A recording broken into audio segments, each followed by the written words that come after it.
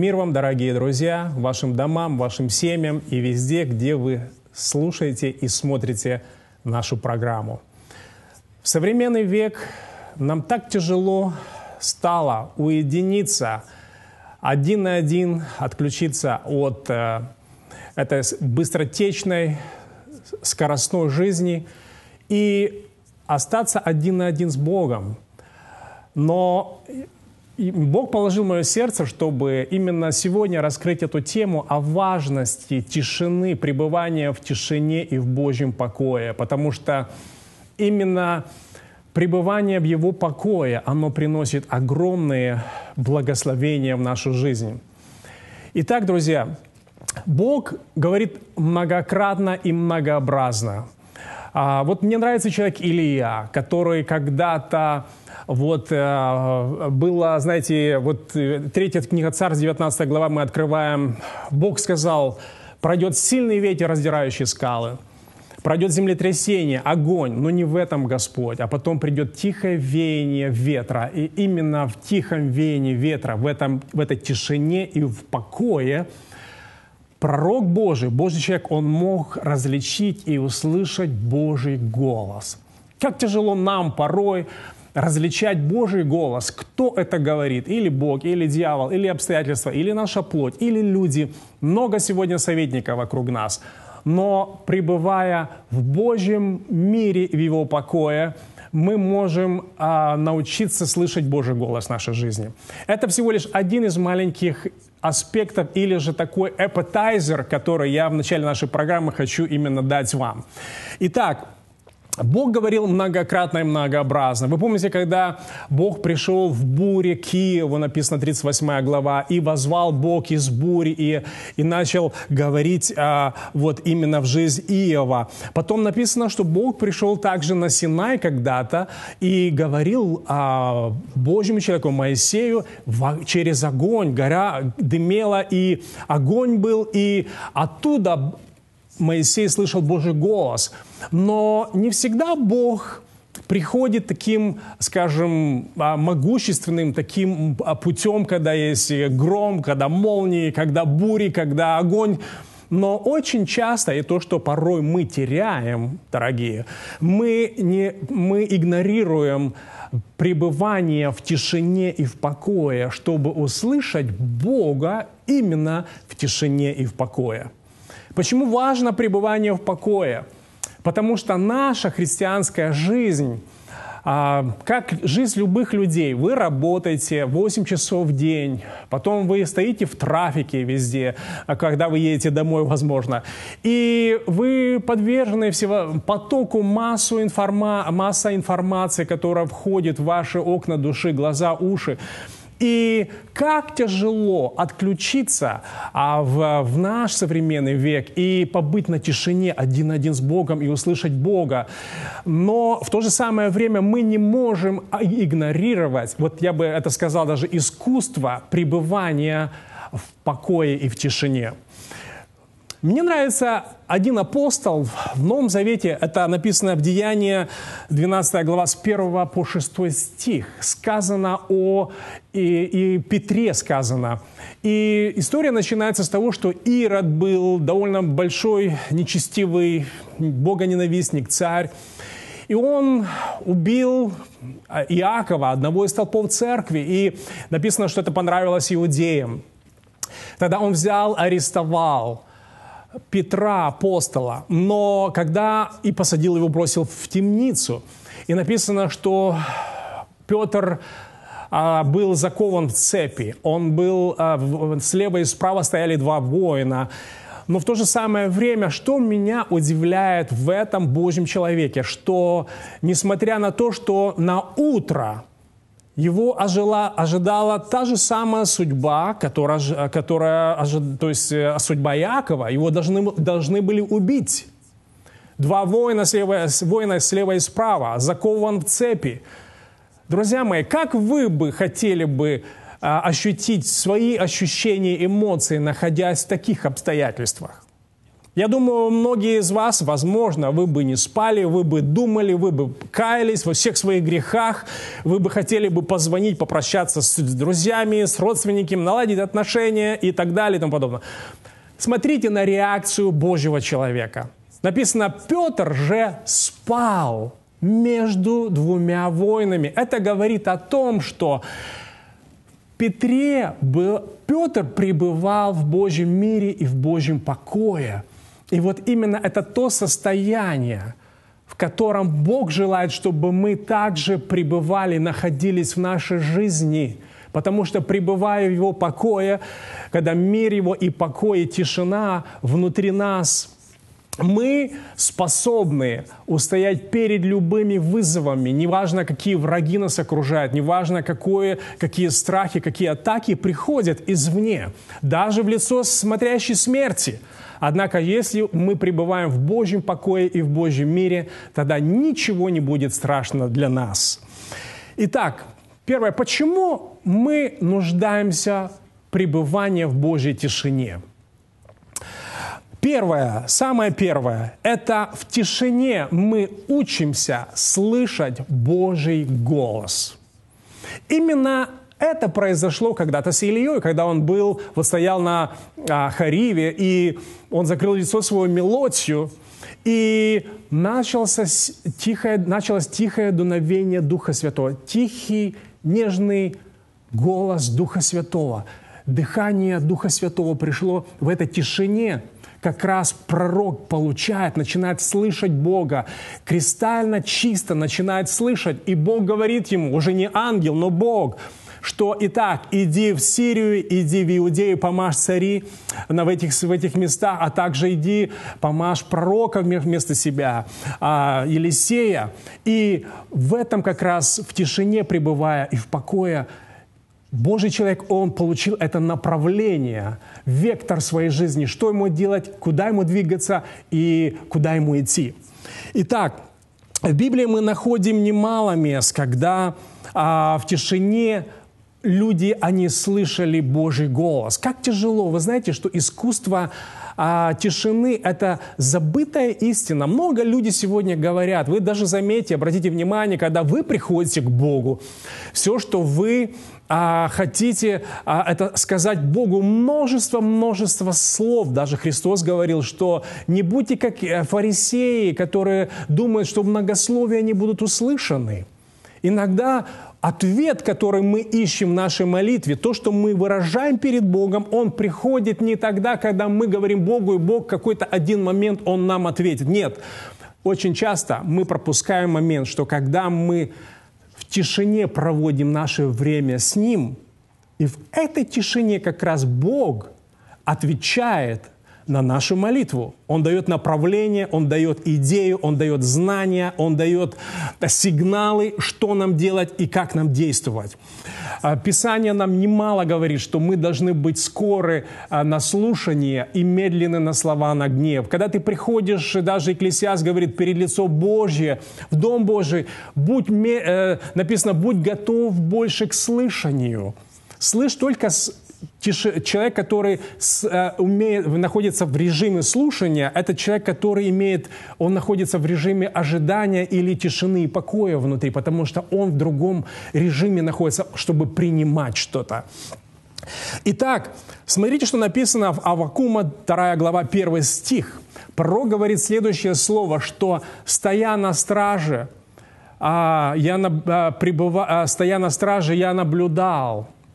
Иными словами, стоящий на страже, он ожидает, он пребывает в тишине, чтобы слышать, что он скажет во мне.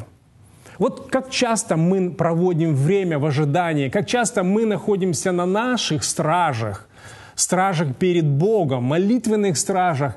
Еще раз вопрос хочу, хочется задать. Как часто мы ожидаем от Бога? Как часто мы проводим время в тишине, слушая, как, каким образом Бог хочет проговорить нам именно в тишине и в ожидании. И еще одно место Писания, которое я хочу а, напомнить, а, это Исаия 50, 50 глава 4 стих. Пророк, он говорил, что Бог дал мне язык мудрых, чтобы я слово мог подкреплять, подкреплять изнемогающее. Каждого утра Он пробуждает ухо мое, чтобы я слушал, подобно учащемуся. Итак, только человек, который может пребывать в тишине, он может слышать, он может учиться, он может принимать от Бога. И следующее местописание. Здесь Давид даже говорил, что «утром предстану пред тобою и буду ожидать». Вот именно ожидание, в ожидании, когда мы находимся в тишине, в ожидании перед Богом, тогда мы способны принимать и слушать, а что Бог хочет мне сказать именно в данный момент. Итак, следующее. В тишине мы получаем, тишине приходит обновление нашей силы. Первое, мы сказали о том, что в тишине мы учимся слышать Бога, Его голос. Второе, в тишине приходит именно обновление наших сил. Именно в покое. Когда мы находимся, в, пребываем в Божьем покое, приходит обновление наших сил. Поэтому даже в Библии, в Исаии, здесь Бог неоднократно обращался к Израилю, говорил следующие слова. Исаия 37, Бог говорит, «Потому я сказал им, сила их сидеть спокойно». То есть, когда они, Израиль, Бог хотел, чтобы Израиль пребывал в покое, и именно в этом покое была, находилась их сила – Исайя 30 глава, 15 стих. Бог продолжает опять говорить, оставаясь на месте, в покое, вы спаслись бы. В тишине и уповании крепость ваша. Вот как часто мы думаем, что должно быть наши усилия, и под воздействием наших усилий, стараний – а, когда мы приходим к Богу или что-то делаем для Бога, часто очень есть очень много плотских вещей, дел плоти, которые Богу не угодно. И мы думаем, что чем больше мы будем иметь, будем активны, а именно больше применять наших сил, наших каких-то а, возможностей, тем больше нам мы будем иметь силы. Но на самом деле Бог взывает и говорит в тишине, говорит в тишине и уповании крепость ваша. В другой перевод написано «в тишине и безмолвии». Ваша крепость, ваша сила. Дальше, Исаия 41 глава, 1 стих. Бог еще раз обращается к Израилю, говорит, «Умолкните предо мною острова, и народы да обновят силы свои». Когда мы умолкаем, входим в тишину, в Божий покой, тогда мы обновляем наши силы. Бог дает свежий прилив и поток силы своей в нашу жизнь. И есть одно место Писания, которое один из любимых мест Писания э, в моей жизни. Я надеюсь, что вам также нравится это, это, это место Писания, где из Висаия написано в 40 главе, что «А надеющийся на Господа обновятся в силе, поднимут крылья свои, как орлы, пойдут и не устанут, потекут и не утомятся». Другой перевод говорит, что «А те, кто ожидают Господа, они обновятся в силе». Вот как раз в ожидании, в тишине, в покое, когда мы пребываем перед Богом, умолкает наш голос плоти, умолкает наше «я». И мы просто подключены в нашем духе, мы подключены именно к сверхъестественной Божьей силе, и мы находимся, пребываем в этом покое. И в этом покое приходит обновление наших сил. Возможно, вы перегорели, возможно, вы устали, а, возможно, и вы, вы чувствуете определенное бессилие. Все, что вам нужно сделать, а, это просто войти в Божий покой, прийти к Богу, успокоиться от всех ваших дел, от какой-то религиозной кипучей деятельности или даже, возможно, от вашей рабочей загруженности, вашего графика, расписания. Просто возьмите, найдите один день среди недели, как это делают, кстати, в Израиле. Если вы были в Израиле, вы понимаете, о чем говорит, что такое суббота. Это шаббат, это день покоя когда Израиль до сегодняшнего дня, евреи, они, а, они празднуют, они верят в это Божье постановление, что человек шесть дней работал, Но на седьмой день это день покоя. Это день, когда э, в Израиле особенно, это добрая традиция, люди собираются, семьи, а, друзья, в основном, в основном это семейный праздник, шаббат, и дети, родители, они собираются, общаются, кушают, просто пребывают в покое. И таким образом происходит обновление их и физических сил, и душевных сил. И, конечно же, мы сегодня говорим о духовном шаббате, о духовном покое, которое Бог, которым Бог хочет наполнить ваше сердце, чтобы вы также могли обновляться в вашей жизни духовно. И Дальше мы говорим сейчас о том, что вопрос стоит следующий. А, почему нам нужна тишина в нашей жизни? И ответ последний, что именно в тишине мы получаем стратегию, что делать, когда мы не знаем, что делать.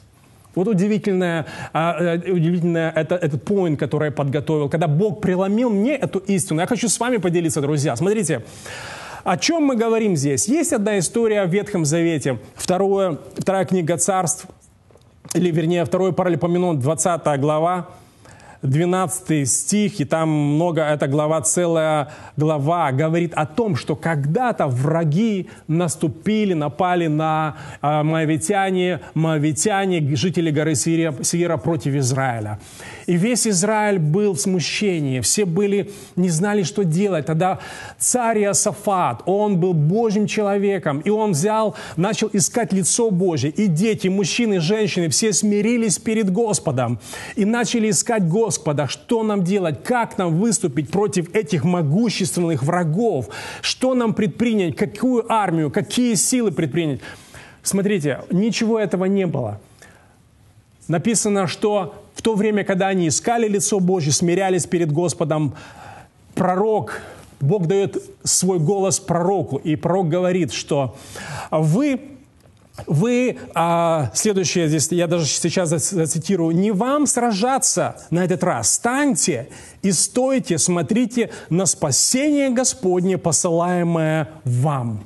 Смотрите, Христ, то есть а, пророк призывает, Бог через пророка призывает, что в, война не ваша, это Божья война. Все, что вам нужно сделать, это стоять стоять, то есть избавиться от лишней суеты, не, от, перестать переживать, перестать бояться, не ужасаться. Почему? Потому что не вы будете сражаться, а я буду сражаться, Бог говорит, а вы станьте и стойте и смотрите на спасение Господне.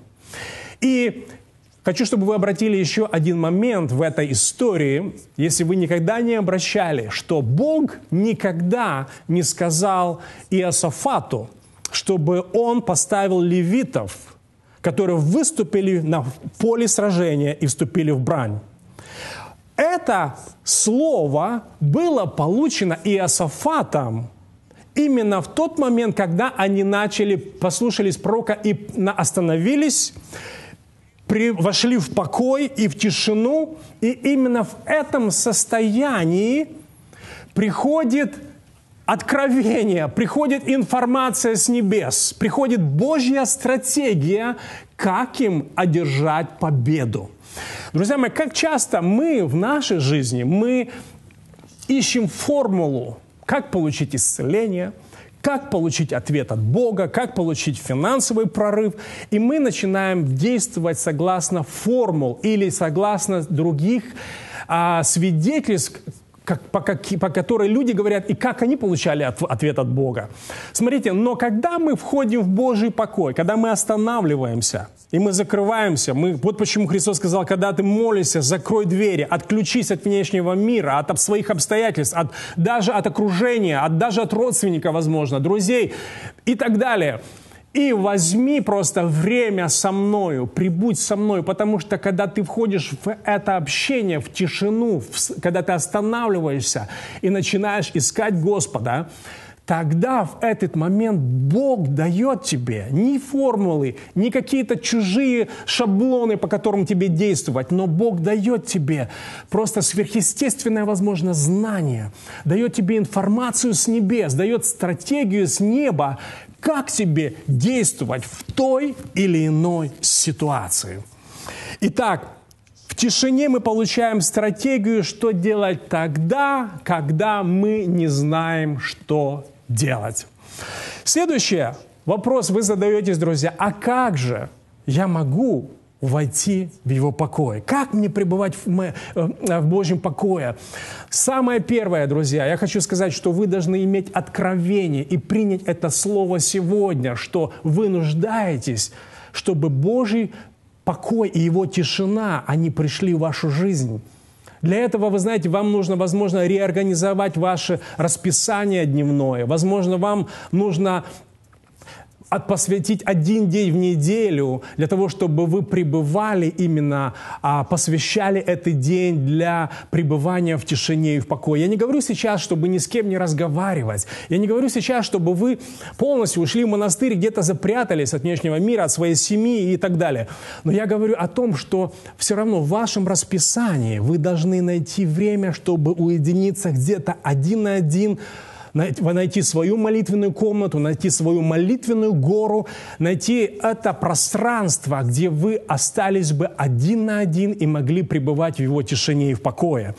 Итак, первое, найти покой или как войти в покой, это начать искать Бога начать искать Бога именно в уединении, там, где вы находитесь, там, где вы спрятались от внешнего двора, потому что внешний двор, кстати, никогда нельзя было услышать Божий голос, никогда нельзя было находиться в покое, пребывая во внешнем дворе, как в Иерусалимском храме был внешний двор, святилище святое святых. Потому что во внешнем дворе, то, где мы пребываем очень часто, есть очень много суеты, продажи, влияние овец, а, толпы толпа, э, крики людей и так далее, но там, к сожалению, мы не можем услышать, прибыть в тишине, услышать Божий голос.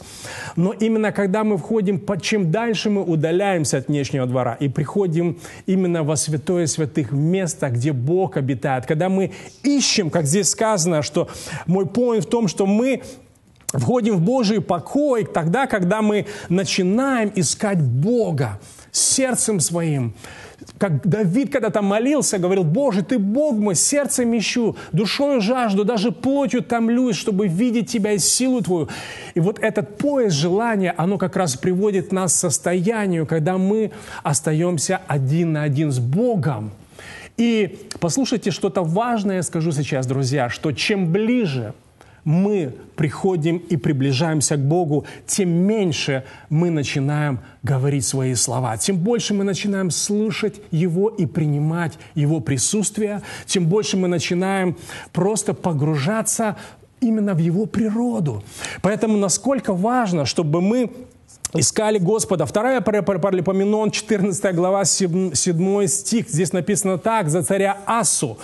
Написано, мы взыскали его, и Он дал нам покой со всех сторон. И смотрите дальше, и стали строить и имели успех, потому что они прибыли в Божьем покое. Итак, следующее, как нам войти в Божий покой?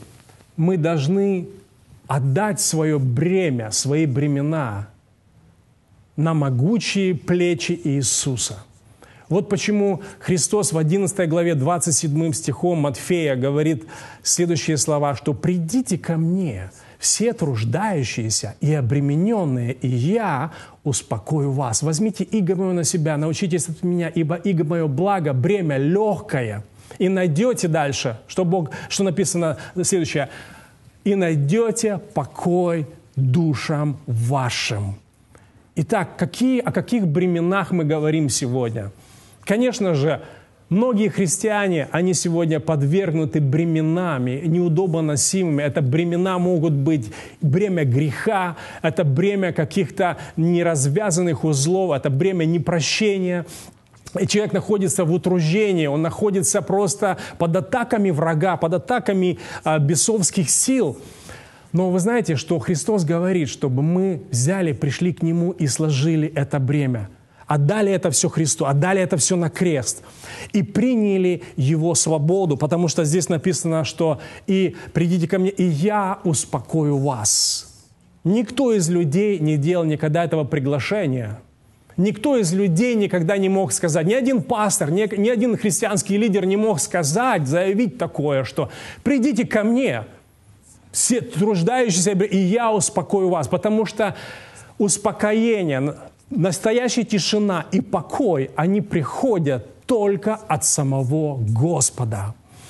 И поэтому это то, что Бог говорит сейчас, что мы должны, для того, чтобы войти в Божий покой, мы должны быть избавлены от всевозможных грузов. Как написано в Ветхом Завете, Бог говорил, что в день субботний, в день шаббат, день покоя нельзя было носить никакие бремена, никакие ноши, ни, ни звери, ни животные, ни, ни люди, ни человек, ни, даже не могли идти расстояния большие по той лишь причине, что это день покоя, люди должны были быть разгружены. Точно так же в духовном мире, мире мы снимаем всякие бремя. Вот почему даже Писание говорит нам, что свергнем себя всякое бремя, запинающее нас грех. И тогда мы можем наслаждаться и жить его настоящим покоем. Друзья, я сейчас хочу обратиться к тем, возможно, которые никогда не слышали еще о этом покое, и вы живете в, без Бога, и вы задаетесь вопрос, вопросом, о каком мире и покое мы сейчас говорим. Самое первое, что Иисус Христос говорит, обращается к вам сегодня и говорит следующее слово, что «приди ко мне, ты труждающийся, ты обремененный». Люди в мире ищут покой, они, они не имеют этого внутреннего мира, который дает только сам Бог. И поэтому приглашение сейчас идет именно к вам, друзья. Если вы никогда еще не переживали этот совершенный мир и совершенный покой в вашей жизни, я хочу сказать на основании Божьего Слова, настоящий мир – ваше сердце, вашу жизнь вы можете принять только тогда, когда вы примете Иисуса Христа как своего Спасителя вашу жизнь. Я хочу вас пригласить сейчас, если вы никогда не верили или не, были, не имели возможности отдать свое сердце Иисусу Христу и прийти с вашими бременами, утружденные и обремененные вашим грехом, я хочу сказать, сейчас это время. И если вы это сделаете, Иисус войдет в ваше сердце, и вы примете этот божественный, совершенный мир, покой в ваше сердце, и ваша жизнь начнется по-новому. Вы можете повторить молитву покаяния прямо сейчас и сказать, Иисус, я прихожу к Тебе сейчас, оставляю бремена, греха, беззакония, прости меня, омой меня своей кровью. Я прихожу к Тебе такой, как я есть. Я верю, что Ты отдал свою жизнь за меня, и я верую, принимаю Тебя в свое сердце. Возьми мое бремя и дай мне свой мир, мое сердце. Аминь. Если вы повторили эту молитву, я хочу, чтобы верою приняли спасение, приняли Божий мир, Божий покой в ваше сердце. Мы просто приглашаем вас, что если у вас есть нужды определенные, если у вас есть а, проблемы, какие-то вызовы судьбы, или вам нужна э, молитва за исцеление, или какие-то тяжелые лабиринты жизни, и вы нуждаетесь в сверхъестественном Божьем вмешательстве. Друзья я хочу сказать, что мы хотим быть вашими молитвенными партнерами. Это то, что мы делаем. К нам поступают звонки, мы молимся за людей, и мы даже имеем свидетельство, как Бог сверхъестественным образом отвечает на, на молитвы. Спасибо, что вы были сегодня с нами. Это служение которое мы несем, которое Бог доверил и к чему Бог нас призвал, для того, чтобы нести Евангелие в разные уголки земли, именно достигать тех людей, которые еще не достигнуты Евангелием. Мы говорим в основном, наш фокус – это окно 1040. Мы служим в Индии, отстраиваем колодцы Иисуса, где люди черпают воду и приходят к познанию Господа Иисуса Христа. Мы также в Африке благословляем людей, делаем праздники хлеба, где люди кушают хлеб жизни, где кушают люди хлеб хлеб а, физически насущный, таким образом останавливается голод, люди приходят к познанию Господа Иисуса Христа. Мы также служим на Ближнем Востоке, это основной фокус нашего служения, то, что Бог вложил в наши сердца, чтобы достигать мусульман. И я просто приглашаю вас, друзья, если вы никогда еще не жертвовали, не стояли вместе, не поддерживали это служение, которое Бог доверил нам, я хочу пригласить, чтобы вы стали частью, чтобы мы вместе с вами именно были в этом видении и вместе могли достигать людей спасения в самом, недо, самых недостигнутых уголках земли. Мы любим вас, мы благословляем вас и до следующей встречи в программе.